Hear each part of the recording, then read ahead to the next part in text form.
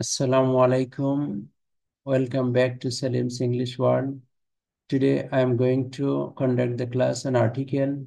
After the class, you will get a clear conception about article. Article সম্পর্কে তোমরা স্বচ্ছ একটা ধারণা লাভ করতে পারবে আজকের এই ক্লাসের শেষে আর্টিকেল আইডেন্টিফাই করতে পারবে আর্টিকেলের যথোপযুক্ত ব্যবহার সম্পর্কে তোমরা জানবে তোমরা জানো আর্টিকেল হচ্ছে দুই প্রকার, একটা হচ্ছে ডেফিনাইট আর্টিকেল আর একটা হচ্ছে ইনডেফিনাইট আর্টিকেল অর্থাৎ একটা নির্দিষ্টকরণ আর্টিকেল আর একটা হচ্ছে অনির্দিষ্টকরণ আর্টিকেল আজকে আমরা শিখতে যাচ্ছি ইনডেফিনাইট আর্টিকেল এ এবং এন সম্পর্কে। এবং আজকে এ এবং এন এর যত প্রকারের ব্যবহার আছে, সবগুলো স্পষ্ট করে সহজবদ্ধভাবে উপস্থাপন করব। এবং আজকের ক্লাসের পরে তোমাদের এ এবং এন আর্টিকেল ব্যবহার নেওয়ার কোনো ধরনের কোনো কনফিউশন থাকবে না, ইনশাআল্লাহ। So stay with us till the end প্রথমত আর্টিকেল ব্যবহার করতে গেলে তোমাদেরকে যেটা জানা প্রয়োজন অত্যাবশ্যক সেটা হচ্ছে আর্টিকেল কোথায় বসে? মনে রাখতে হবে আর্টিকেল কিন্তু একটা নাউনকে ফলো করে। যদি আর্টিকেলের পরে একটি শব্দ থাকে, তাহলে অবশ্যই আর্টিকেলের পরে নাউন থাকবে। অর্থাৎ নাউন আর্টিকেল প্লাস নাউন যদি আর্টিকেলের পরে দুইটা শব্দ থাকে, তাহলে প্রথমটা অ্যাজেক্টিভ দ্বিতীয়টা নাউন আর্টিকেলের পরে যদি তিনটি শব্দ থাকে, তাহলে প্রথমটা অ্যাডভার্ব দ্বিতীয়টি অ্যাজেক্টিভ এবং তৃতীয়টি নাউন অর্থাৎ লক্ষ্য করতে পারছ, প্রত্যেকটা জায়গায় কিন্তু নাউন নাউন নাউন আছে। অর্থাৎ নাউন ছাড়া সাধারণত কিন্তু আর্টিকেল ব্যবহার করা হয় না। As for example here it it has been given he is dash honourable সম্ভবত তোমরা এই ক্ষেত্রে এন ব্যবহার করবে, কারণ তোমরা নর্মালি জানো এইচ কনসোনেন্ট হওয়া সত্ত্বেও এটা অনারেবল অনারেবল না। ভাওয়েলের মতো উচ্চারিত হচ্ছে, তাই এন হবে। কিন্তু আসলে এখানে কিন্তু এন হবে না। কারণ আমাদের এই যে তিনটা শর্ত দেওয়া আছে নাউন থাকা লাগবে। এই অনারেবল হচ্ছে অ্যাজেক্টিভ এরপরে কিন্তু কোনো নাউন নাই। এই এ এবং এন সম্পর্কে যেহেতু আজকে আমরা একটি স্পষ্ট ধারণা পেতে যাচ্ছি, সেই কারণে প্রথম বিষয় যেটা মনে রাখা দরকার, সেটা হলো যে এ সাধারণত বসে কনসোনেন্ট সাউন্ডের পূর্বে। আমরা বলি কনসোনেন্ট লেটার কিন্তু আসলে কনসোনেন্ট সাউন্ডের পূর্বে আর্টিকেল এ বসে। যেমন এ বুক বি এর বি কিন্তু একটা কনসোনেন্ট লেটার এবং এর সাউন্ডও কনসোনেন্ট আবার দেখো এন এগ ই হচ্ছে ভাওয়েল এবং সাউন্ডটা ভাওয়েলের মধ্যে আছে। সো ভাওয়েল এর পূর্বে এন কনসোনেন্টের পূর্বে a it is the primary basic rule for using article a and an consonant সাউন্ডের পূর্বে সাধারণত এ বসে ভাওয়েল সাউন্ডের পূর্বে সাধারণত এন বসে। কিন্তু এর বিপরীত কিছু ব্যতিক্রম আছে। লেটারটা কনসোনেন্ট হওয়ার পরেও যদি সেটা ভাওয়েলের মতো সাউন্ড হয়, তাহলে আমরা সেই ক্ষেত্রে এন ব্যবহার করি। আর ভাওয়েলের উচ্চারণ যদি ইউ এবং ওয়াই এর মতো হয়, তাহলে সেই ক্ষেত্রে কিন্তু আমরা এ ব্যবহার করি। So, let's see an honourable man man হচ্ছে নাউন অনারেবল হচ্ছে অ্যাডজেক্টিভ এবং এখানে এইচ থাকার পরেও এর উচ্চারণটা কিন্তু অ এর মতো হয়েছে সেখানে এন হর্স এর উচ্চারণ কিন্তু হ কনসোনেন্টের মতো সেখানে এ হাউস এ অনেস্ট আবার এই যে উচ্চারণ অ সেখানে এন হোন্ডা হয়ের মতো এ আওয়ার আওয়ার কিন্তু ভাওয়েল সাউন্ড দিয়েছে সেখানে এখানে আমরা ব্যবহার করেছি an let's go to another slide for sing U U কিন্তু ভাওয়েল কিন্তু ভাওয়েল হওয়ার সত্ত্বেও আমরা আগের স্লাইডে বলেছি যে ইউ যদি ইউ ভাওয়েল, কিন্তু ভাওয়েল যদি ইউ এবং ওয়াই এর মতো উচ্চারিত হয়, তাহলে সেই ক্ষেত্রে ভাওয়েলের পূর্বে এন না বসে এ বসবে। এখানে দেখো ইউ ইউনিভার্সিটি সো ইউ এর উচ্চারণ ইউ এর মতো হয়েছে, সেই কারণে এখানে আমরা এ ব্যবহার করেছি। আমব্রেলা, আমব্রেলার ইউ এর উচ্চারণ কিন্তু আ এর মতো, ইউ এর মতো হয়নি, সেই কারণে এটা কিন্তু এন ব্যবহার করা হয়েছে। ওকে, ইউনিভার্সিটি ভাওয়েল সাউন্ডটা ইউ এর মতো উচ্চারিত, সেখানে এ আমব্রেলা এখানে ইউ এবং ওয়াই এর মতো না সেই কারণে এটা এন আগলি গার্ল এটাও কিন্তু ইউ এবং ওয়াই এর মতো হয়নি সেই কারণে এটা এন ইউনিয়ন এখানে কিন্তু ইউ এবং ইউ এর মতো উচ্চারিত হয়েছে সেই কারণে এ আঙ্কেল ইউ কিন্তু ইউ বা ওয়াই এর মতো না আম্পায়ার এটাও ইউ এবং ওয়াই এর মতো না সেই কারণে an O another vowel O এর উচ্চারণ যেখানে ইউ এবং ওয়াই এর মতো হচ্ছে, সেখানে আমরা এ ব্যবহার করছি যেমন ওয়ান আইড ম্যান ও এর উচ্চারণ ওয়া, সেক্ষেত্রে এ, কিন্তু অরেঞ্জ এখানে কিন্তু ওয়া না সেখানে এখানে an. I think you have understood the matter okay a one leg man ওয়ানের পূর্বে এ ওয়েল পট এটা কিন্তু ওয়া না ওয়েল সেখানে এন অরেঞ্জ নট ওয়া, সেখানে এন ওয়ান ওয়া সেখানে এ এন ওল্ড ম্যান ওয়ের উচ্চারণ কিন্তু ওয়াইয়ের মতো হয়নি, সেখানে এন ওয়ান টাকা নট ওয়া, সেখানে এখানে এ।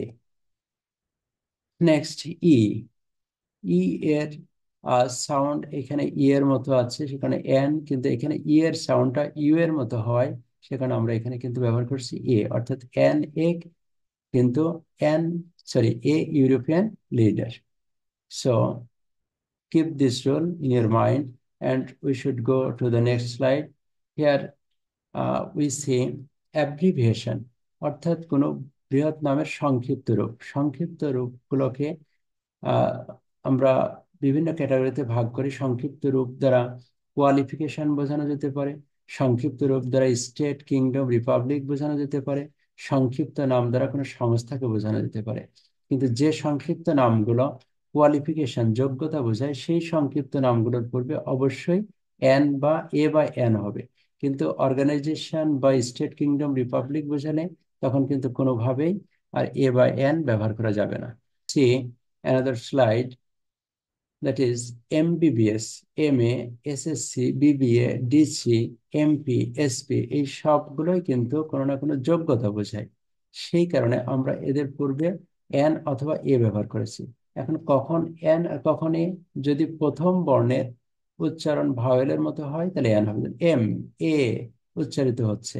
এম এ এ উচ্চারিত হচ্ছে। এস এ যেগুলো ভাওয়েলের মতো সাউন্ড দেয়, সেখানে এগুলোর পূর্বে আমরা কিন্তু ব্যবহার করেছি এন বিবিএ এটা কিন্তু কনসোনেন্টের সাউন্ড দিচ্ছে, সেখানে এ ডিসি কনসোনেন্ট সাউন্ড সেখানে এ এমপি ভাওয়েল সাউন্ড এর পূর্বে আমরা এন ব্যবহার করেছি এসপি এটাও এস এ আসে সেখানে এর পূর্বে আমরা এন ব্যবহার করছি।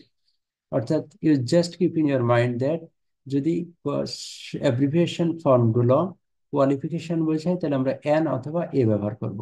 ভাওয়েল সাউন্ড দিলে এন কনসোনেন্ট সাউন্ড দিলে এ নেক্সট আরও কিছু ক্ষেত্রে আমরা এ এবং এন এর ব্যবহার লক্ষ্য করি। একটা হচ্ছে প্রফেশন প্রফেশন মানে পেশা। অর্থাৎ কোনো পেশা। পেশাগুলো কি?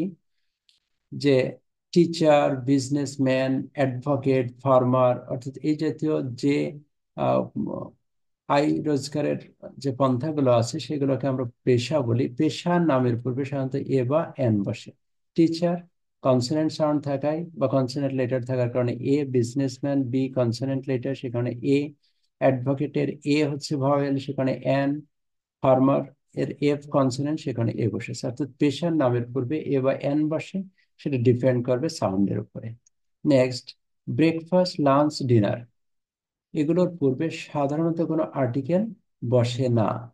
কিন্তু যেমন he has had dash breakfast অর্থাৎ এখানে ক্রস ব্রেকফাস্ট লাঞ্চ ডিনার এর পূর্বে সাধারণত কোনো আর্টিকেল ব্যবহার করা হয় না। কিন্তু, যদি ব্রেকফাস্ট লাঞ্চ ডিনারের পূর্বে অ্যাজেক্টিভ থাকে, যেমন এখানে ফাইন ব্রেকফাস্ট ফাইন হচ্ছে অ্যাজেক্টিভ সো যখন ব্রেকফাস্ট লাঞ্চ ডিনারের পূর্বে কোনো আর্টিকেল সরি অ্যাজেক্টিভ আসবে, তখন আমরা আর্টিকেল ব্যবহার করব। অর্থাৎ ব্রেকফাস্ট লাঞ্চ ডিনারের আগে কোনো অ্যাজেক্টিভ না থাকলে কোনো আর্টিকেল হবে না। যদি অ্যাজেক্টিভ থাকে, তাহলে আর্টিকেল এ বাই এরপরে আমরা দেখি দর বোঝাতে। অর্থাৎ দাম বোঝাতে আমরা কিন্তু আর্টিকেল এ বা এন ব্যবহার করি। যেমন he has bought rice sixty taka a kg.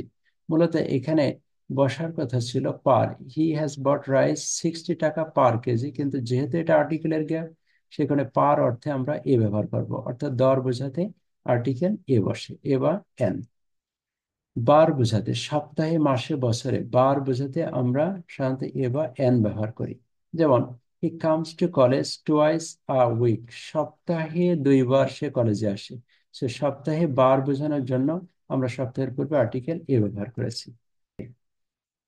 Verb যদি গুরুত্বপূর্ণ একটা পয়েন্ট কোনো ভার্ব যদি নাউনের কাজ করে, তাহলে সেই ক্ষেত্রে আমরা কিন্তু আর্টিকেল এ বা এন ব্যবহার করি।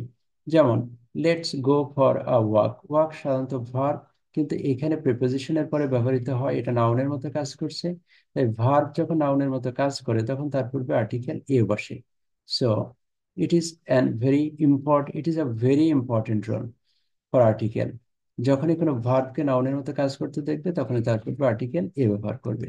Another example to tell a lie lie মানে মিথ্যা বলা, কিন্তু এখানে লাইটা টেলের অবজেক্ট অর্থাৎ নাউন হিসেবে কাজ করছে, সেই কারণে এই ভার্বকে নাউনের মতো কাজ করানোর জন্য তার পূর্বে আর্টিকেল এ ব্যবহার করা হয়েছে। অর্থাৎ to tell a lie is a great sin next বিভার্বের পরে মাস্ট অর্থাৎ মাস্ট হচ্ছে মডাল ভার্ব কিন্তু যখন মাস্টের পূর্বে বিভার্ব থাকবে, তখন সেটার মডাল থাকে না।